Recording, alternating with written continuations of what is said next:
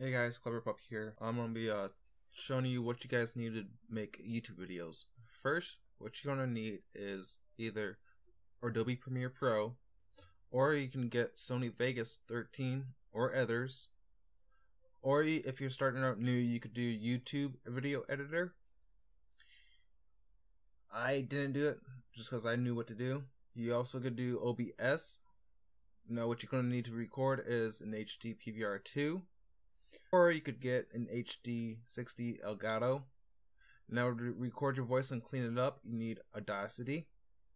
You're also going to need a good microphone like AT2020 from uh, Audio Technica, or you could also go with even a Guitar Hero microphone, or you could do the Astro Gaming headsets, or you could also do Turtle Beaches, anything because you can also clean it up with Audacity, which is what I'm recording with right now.